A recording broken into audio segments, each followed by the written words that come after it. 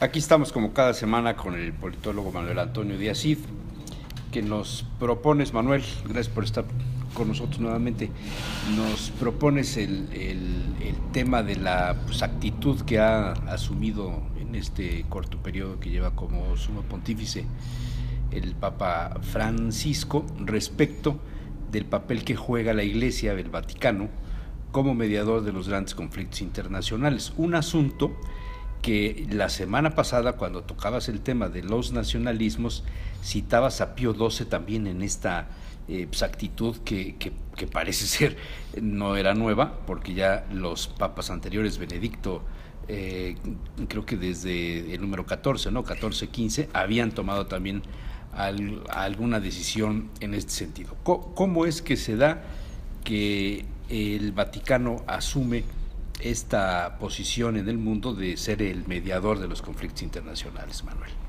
Pues mira, Jesús Manuel, el tema de fondo es un tema de la Edad Media. En la Edad Media aparece la figura del Papa y junto a la figura del Papa comienzan a surgir los grupos que apoyaban o que cuestionaban la administración pontificia y con ellos y en medio de ellos el Papa aparecía siempre como el factor que resolvía los problemas. En el mundo medieval se acuñó un lema que decía Roma locuta causa finita. Habló Roma, se acabó el problema. En un mundo como el de la Edad Media, en donde hay dos grandes centros de poder, el centro del poder político en el imperio y el centro del poder, del poder religioso en la iglesia, hacen que el pontificado se convierta en un factor imprescindible a la hora de hacer alianzas. El Papa, particularmente a partir de la figura de Inocencio III, que es sin duda el personaje más emblemático, la Iglesia no solamente acepta los papeles de mediadora que le sugieren los herederos, los príncipes que crean la degeneración de herederos de el emperador de la descendencia del emperador que llaman al papa para que diga quién de todos los presuntos eh, personajes que estaban apareciendo era verdaderamente el que la iglesia reconocía como el emperador. El poder de la iglesia, por lo tanto, en esa época, Jesús Manuel era un poder que no tenía un opositor de su mismo tamaño, de su mismo empuje, de su mismo reconocimiento. Era el poder absoluto, lo que decía era ley. Era ley. Tú nada más piensa en la bula alejandrina que dividió el continente americano cuando lo acababan de descubrir. Oye, y, el, tema de los emperadores o de los reyes que tenían que ser coronados por el Papa, ¿no? Que tenían que ser coronados. O sea, finalmente se doblegaban ante una máxima autoridad. autoridad. Es decir, la Iglesia rompe el marco que está señalado específicamente en el Evangelio y asume una autoridad que no le corresponde, pero que le es requerida y que le es agradecida por las naciones en pugna, porque en aquella época los señores feudales con cualquier pretexto desencadenaban guerras cuyas consecuencias eran verdaderamente aterradoras porque como el ejército estaba compuesto de campesinos, se perdían las cosechas de los que iniciaban la guerra y se perdían las cosechas de los que perdían la guerra. Claro. Entonces, en un escenario así, un intermediario como el Papa, que era capaz de aplacar a los dos bandos contendientes, se convirtió sin duda en una figura que todo mundo recurría a ella y que todo mundo reconocía. Pero esto en el, en, en el entorno de Europa o en el resto del mundo? Bueno, como tú sabes, el tema de la historia en nuestro mundo ha girado sobre el problema de que es una historia eurocéntrica. Sí. De hecho, el Papa va a tener algunas relaciones diplomáticas, le llamaríamos hoy, con el imperio chino, las va a tener con Gengis Khan y con Tamerlán, las va a tener después con figuras que aparecen en el mundo de las creencias del mundo de el continente asiático y sin embargo el papel fundamental es Europa. Europa era el centro del mundo y sobre él convergían los problemas y las soluciones y el Papa era representante de estas cuestiones. Y como en todas las cosas, la ruptura de la autoridad pontificia nace de la ruptura de, las, de los príncipes electores en torno a la figura de quien podía o debía ser el emperador, surgiendo así los güelfos y los gibelinos que dividieron a Europa en esos dos bandos y que obligaron al Papa a negociar con alguno de los dos su posicionamiento. Desde luego el Papa Inocencio III hace una bula pontificia en la que establece que la Iglesia es mediadora obligada de estas discusiones sobre la, la herencia del imperio. Pero al mismo tiempo la Iglesia se está reconociendo a sí misma autoridad, por ejemplo, para convocar a una cruzada, para resolver los problemas de las diferentes aristocracias que peleaban entre sí, españoles, italianos, franceses, venecianos, que todos y cada uno quería tener la razón. El Papa hablaba y ellos obedecían.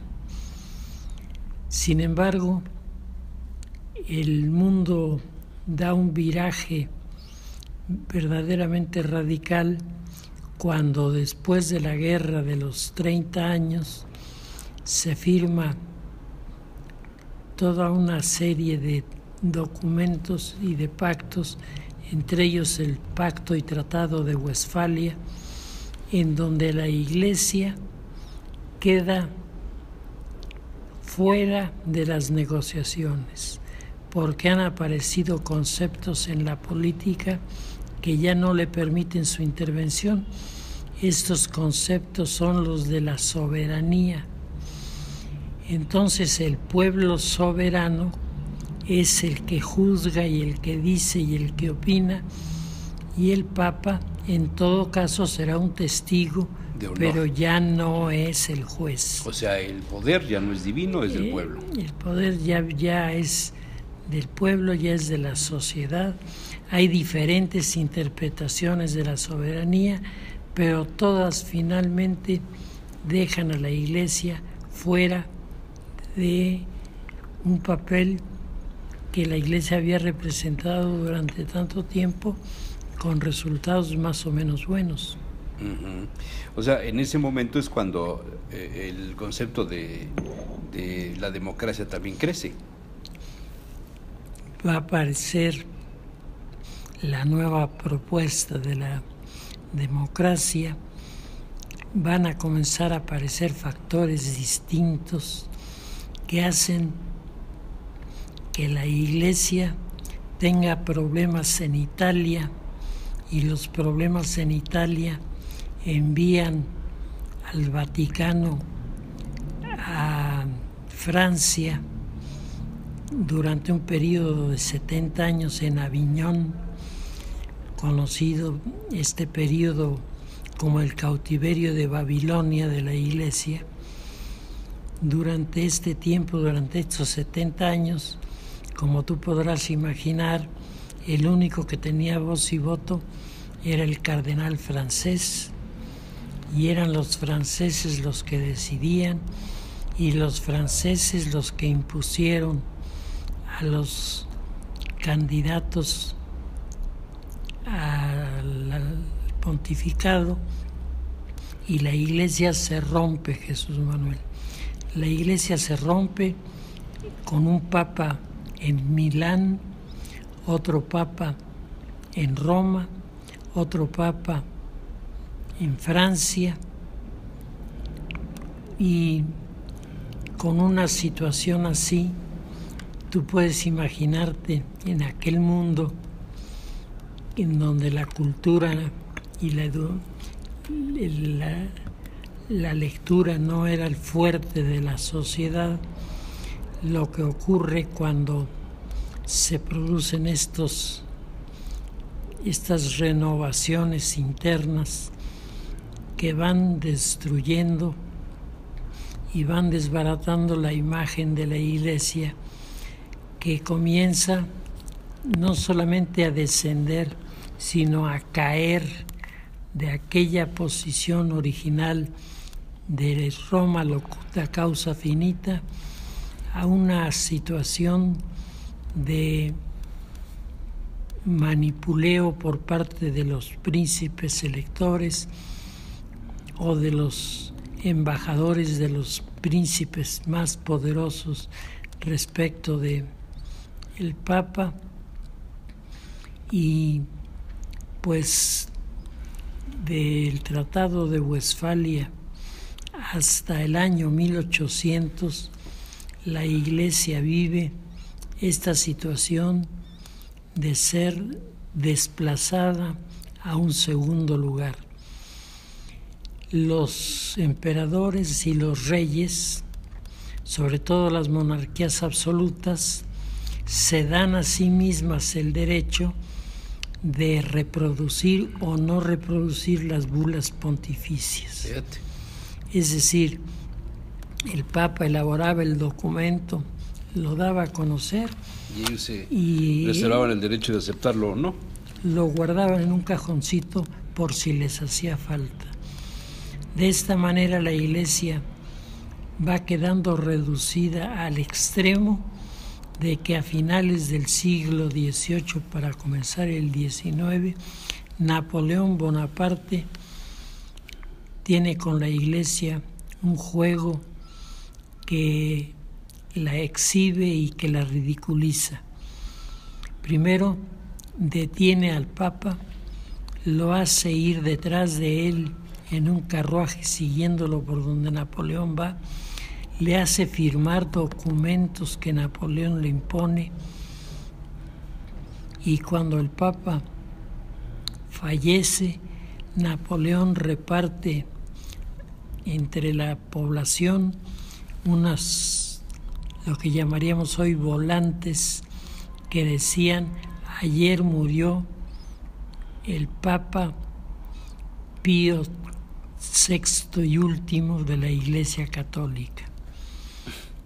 Con esto, eh, Napoleón Bonaparte se atribuía el haber terminado con la Iglesia.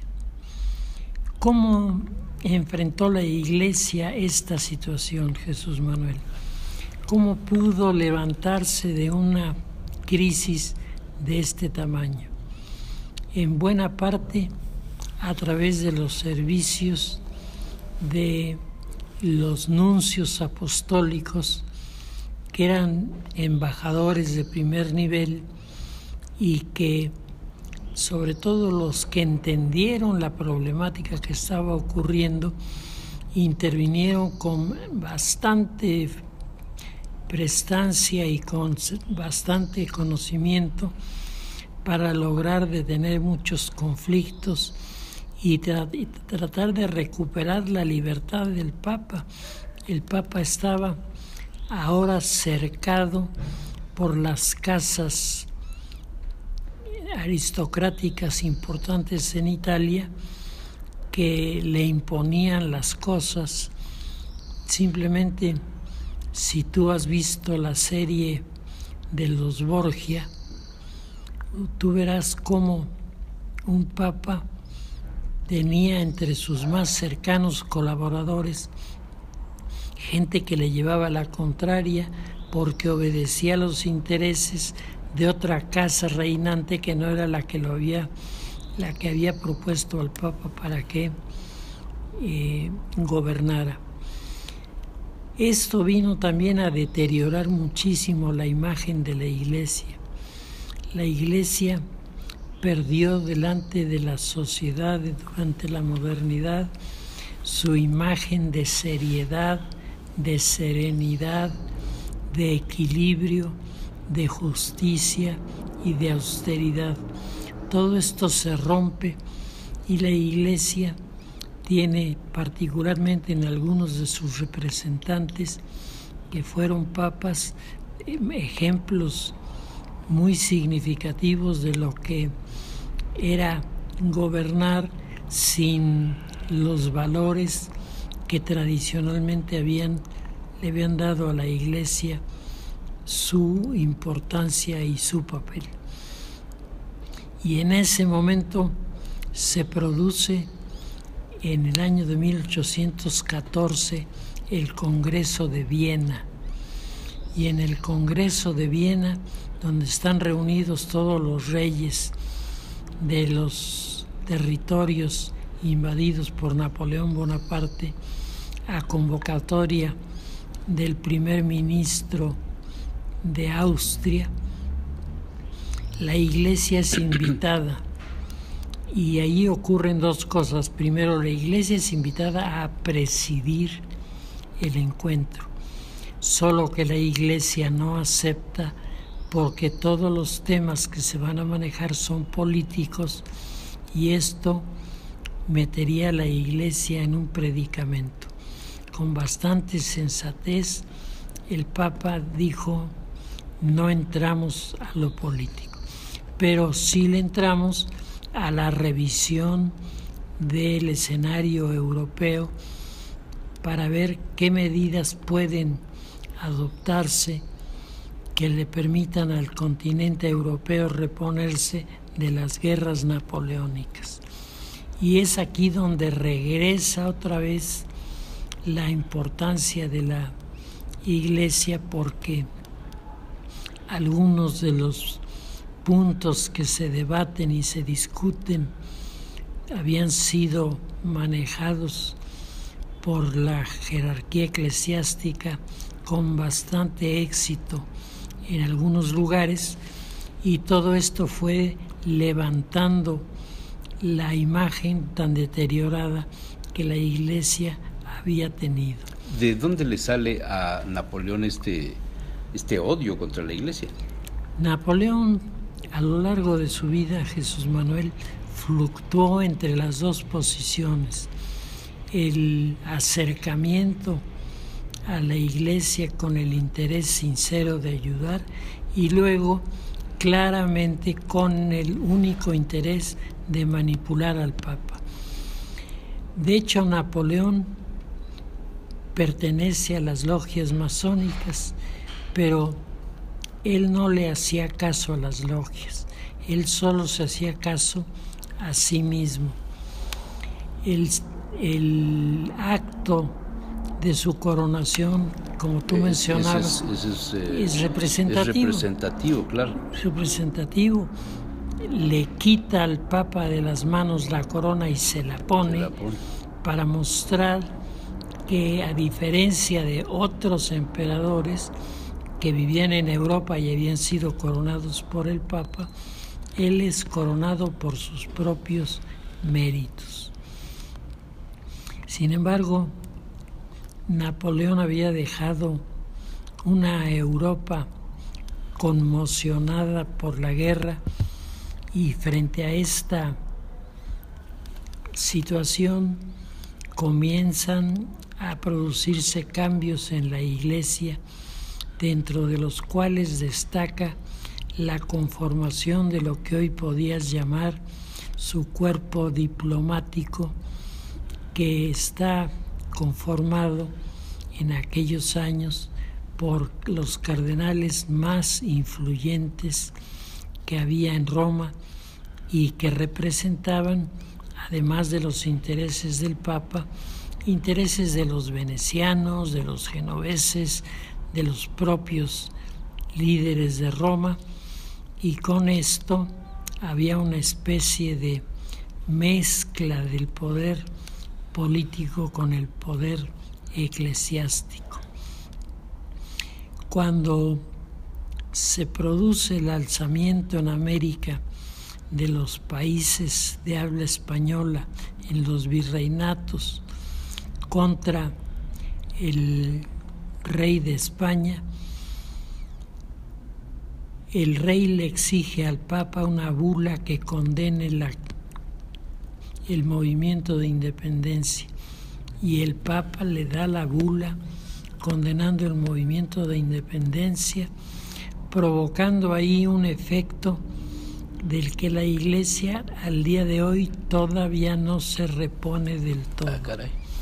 Es decir, los pueblos recién nacidos a la libertad vieron en esta postura de la Iglesia y de los eclesiásticos un apoyo indiscutible en las monarquías absolutas y un rechazo total a la conformación de la democracia parlamentaria, con lo que la Iglesia se coloca frente a los movimientos modernos de la política, tratando de regresar al concepto del poder divino de los reyes, que ya para esa época estaba fuertemente cuestionado. Hay que señalar que son los jesuitas los que publican un libro sobre el tema del poder divino de la Iglesia, cuestionándolo y reprobándolo.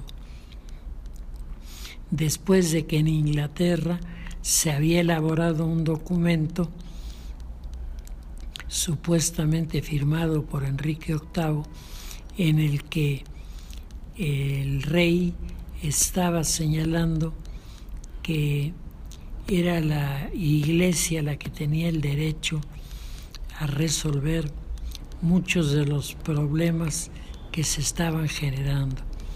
Sin embargo, Enrique VIII va a cambiar su posición y como hemos comentado en este espacio muchas veces, es el hombre más influyente en los grandes cambios que se producirán en el mundo a partir de su reinado. Inglaterra, Francia, España y sus relaciones con América van en una creando una situación muy difícil para la Iglesia porque cuando se produce la independencia en muchos países de América los episcopados que eran españoles abandonan los países y las iglesias locales se quedan sin obispos. Y el rey le exige al Papa que la iglesia eh, establezca que mientras no se regrese al gobierno del rey, los países independientes no tienen derecho a un episcopado. Fíjate nada más que cosa. Una cosa verdaderamente seria, ¿no? Hasta que se produce eh, la elección del Papa Gregorio. El Papa Gregorio es el que eh, nombra al primer obispo para México y nombra los primeros obispos para América y considera que la Iglesia no tiene partido en este conflicto entre los partidarios de la independencia y los de la conservación del poder del rey. La Iglesia se manifiesta como una institución de unidad que le tiende Este es la mano, el Papa Gregorio, que le tiende la mano a los demás para que las cosas se resuelvan y no acaben en guerras y en conflictos.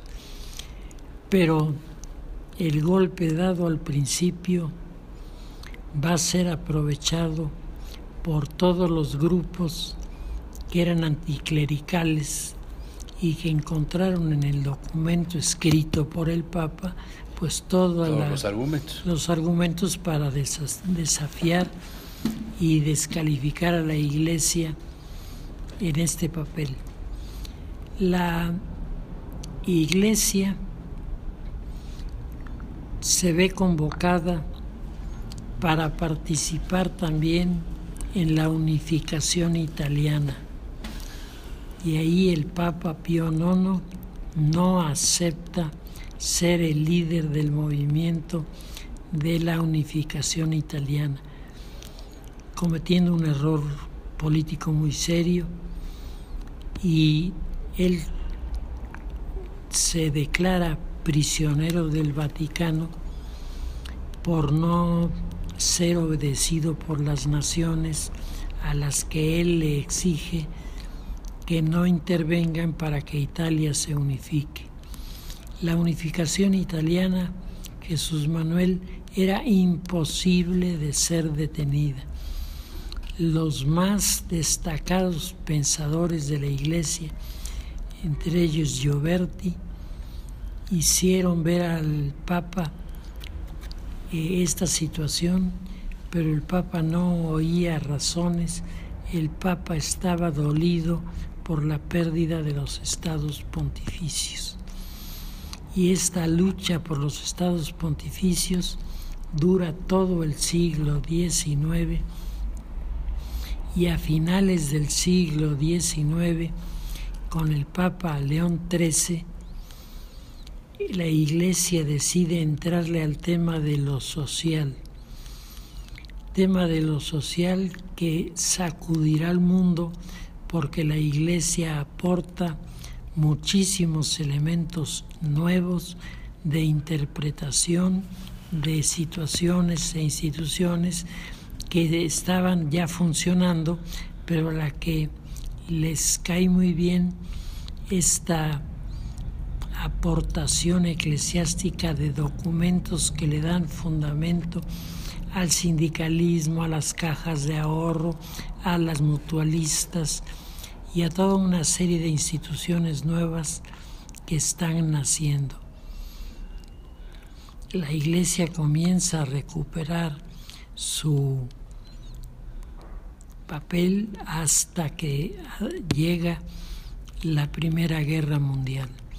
Y en la Primera Guerra Mundial el Papa San Pío X I y luego el Papa Benedicto tratan de lograr el, el primero, San Pío X, que haya guerra. El Papa le pide a las naciones que no haya guerra y hay guerra.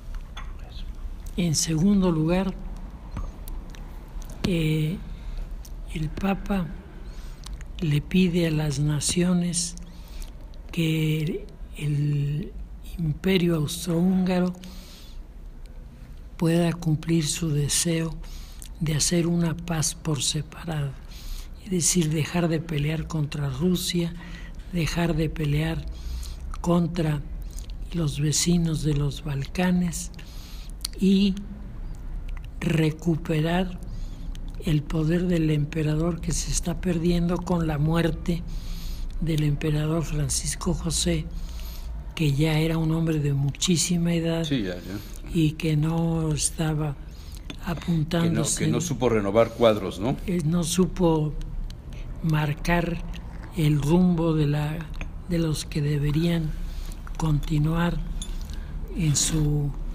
descendencia.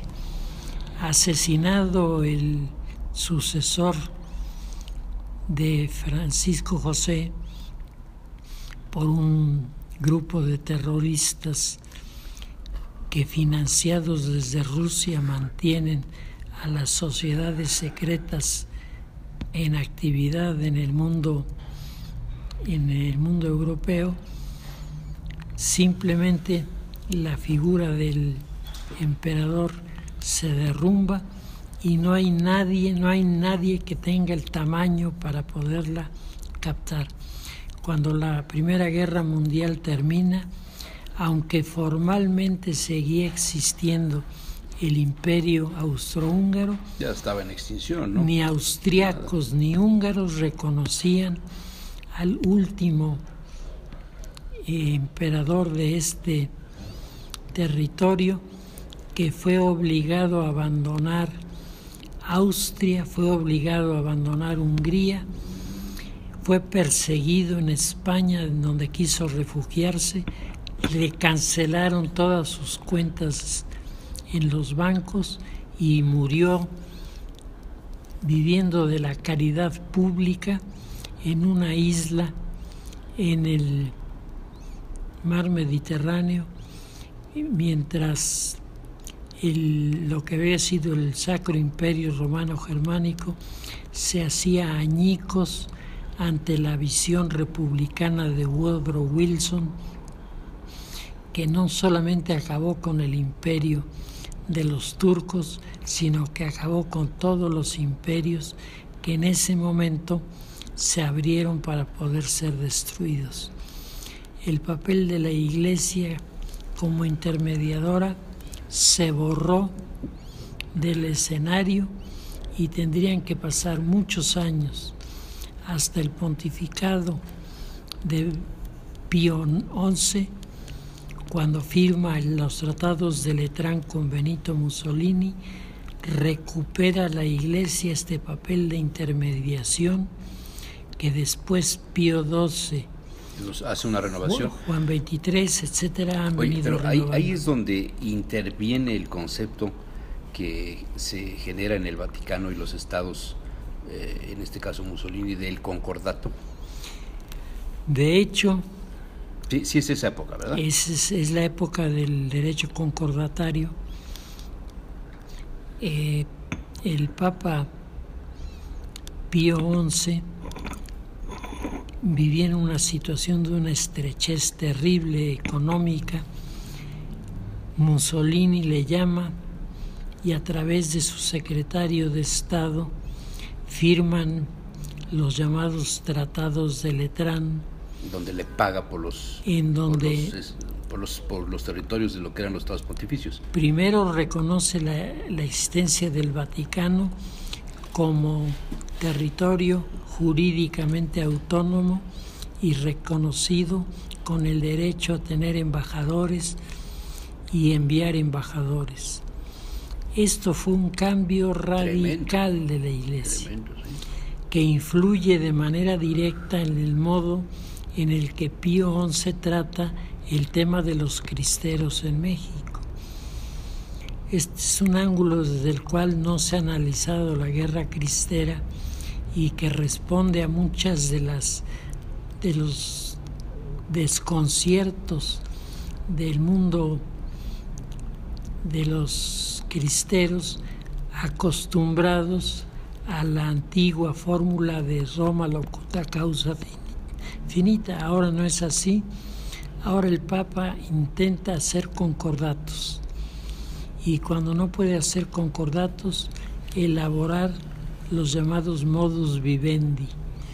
Con México intentó los dos y con los dos fracasó porque el gobierno mexicano nunca en aquella época, nunca tuvo la intención de restablecer las relaciones con el Vaticano. Pero muchos otros países comienzan a enviar embajadores a Roma, enviar embajadores al Vaticano, a recibir embajadores del Vaticano, y el escenario da un giro de tal manera que cuando la figura de Pío XI desaparece y surge la figura de Pío XII, la figura de Pío XII va a ser como el ideal, el, representante ideal de esta nueva fórmula en la que la Iglesia participa en los temas de lo social y de lo político, pero fundamentalmente la Iglesia está intentando recuperar la unidad interior que es la que le da la posibilidad de hacer política externa y tener capacidad de soluciones. Luego de, de Pío XII, los siguientes papas, hasta Pablo VI, pues, posiblemente es que nos damos cuenta que, que, hay de, de, nuevo ese interés de, de ser mediador, Manuel. Sí, porque los acontecimientes internacionales, la visita de Pablo VI a la ONU. Y la convocatoria para el sínodo. La convocatoria para, para el Vaticano II. Concilio Vaticano II. Todo esto va hablando de la autoridad que todavía la Iglesia mantiene.